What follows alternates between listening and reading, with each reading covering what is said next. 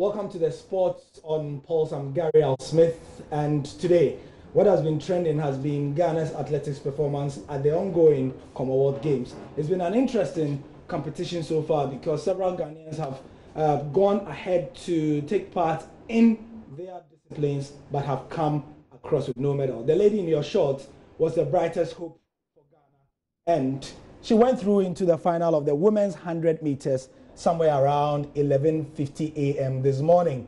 And then she started quite well per her standards. She looked like she was gaining momentum, but her energy levels decreased. Michelle Lee Ahye from Trinidad and Tobago powering to a title. Trinidad and Tobago had never gone into the final of a Commonwealth Games women's event before. Today they had three athletes in the final, and Michelle Lee won.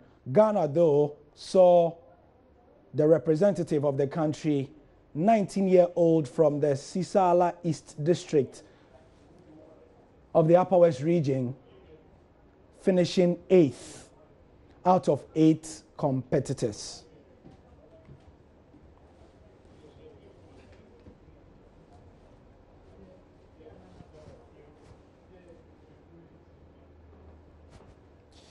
So after coming so close yet so far, it's clear that she has bags of potential and at 19 she has the whole world ahead of her. How does she go on from here? In studio with me is Hans Mensah Ando, who followed the race. 11.54 seconds was the time the Ghanaian ran. So let's quickly speak about her. First of all, what were the hopes of athletics watchers before she went into the race? Well, I mean, basically, um, we're looking at two things. One, that she could have brought home a medal. And if that was not possible, at the very least, she could have improved her personal best. But um, all of that were not to be. Um, whichever way you look at it, though, there is a positive, at least some positives you can draw from it. Um, 19 years, uh, she's able to make her way to the Commonwealth Games all the way to the finals. So mm.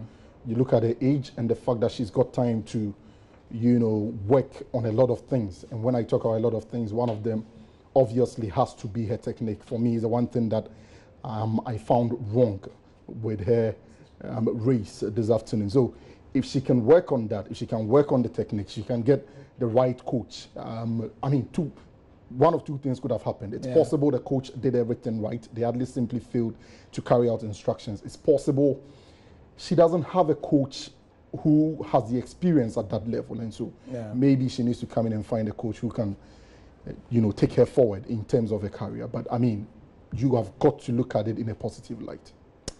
Now, Hor is, um, she recently just completed TI Ahmadiyya Secondary School in Kumasi.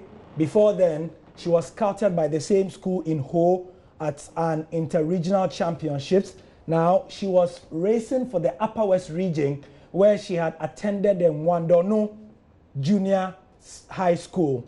And um, she was spotted there. She was first in her locality, she was first in her district, first in the region, and represented the region, which is where she was scouted um, at the inter regional championships in Ho.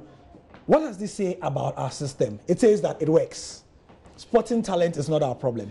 No, not at all. I mean, um, it's the least of our worries. The talent is there. Um, I went through secondary school, was fortunate to be sports pre prefect in my school. I was part of the regional team, Central Region.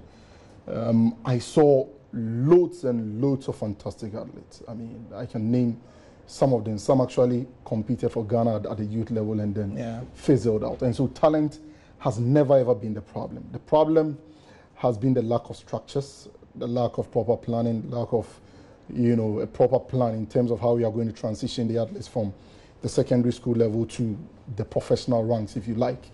And so if we're able to get that right, and over the years, I struggle to understand why we are not able to get it right. See, in my mind, when you do something repeatedly and it doesn't work, you stop doing it and try another. You can't keep doing the same thing and then expect different results. We've been doing the same thing over and over again. We go to um, international competitions, make headlines for the wrong reasons. We come back, we know that we have, we have got the talent in the country. We know what our problems are, but somehow we simply lack the will to solve those problems. And we know what the solutions are. We just have to implement them. Fantastic implementation, and uh, there's hope yet for this team. Don't forget that the Ghana team will be racing on Friday. All the 400 meter runners will be in the 4x100 relay in the ongoing Commonwealth Games. We are in day five so far. And also in the men's event, we saw Akani Simbine of South Africa shock Yohan Blake, the favorite from Jamaica, to the title. It was a South African one to great for that country as well. So that's it for the athletics. Uh, in the Ghana Premier League, there's a lot happening. It was, it was an interesting weekend with both Hearts and Kotoko tasting defeat. Hearts of Oak were beaten by three goals to nil. Kotoko were beaten by two goals to nil by Ashgold. Very interesting weekend, Hans.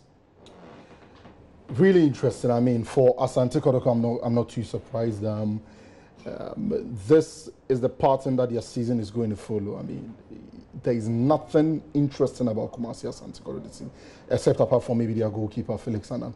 Nothing seems to work. Um, Parkway even came in, made some huge promises. Um, I was skeptical about his ability to live up to those promises because it is not up to him. I think the entire structure with Asante Kotoko is wrong. And so uh, if they get it wrong at where they have to make the key decisions on the field, they are going to get it wrong. So I'm not really surprised about the sort of results that they are recording. Hearts of Oak, there are sparks of, you know, the good things that could happen if um, they do one or two things right. Um, and, and, that's the table. You see Kotoko in sixth, Heart seventh. Hans, go on, please. Yes, if they do one or two things right. Um, and I think that it's high time Hearts of Oak keep faith with the coach. Henry Wellington is not getting certain results right, but there are certain results he gets them right. And so um, the most important thing is to keep a core of a team together, get a coach to work with them for a longer period, and then for me, I think the Heart of Oak is going to work out. Now, if you look at the table, Ashgold are peeling away. If we can go back to Ashgold, yeah. 13 points because of their results elsewhere. It gave them an opportunity. You see, the Inter Allies were able to come up. Dreams FC also on eight, but quietly slowly they are peeling away.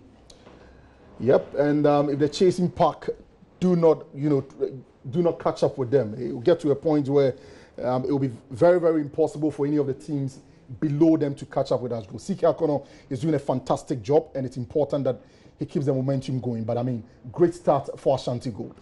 Akonnor has now beaten Hearts of Oak and Kotoko in one month. Great stuff. We'll be doing more analysis on the football show, 10.30 Tis. Please join us then. Thank you, Hans Mensah Ando, you. for your time. Also, we'll be here at 8.30 for the rest of what's trending internationally. I'm Gary Al Smith.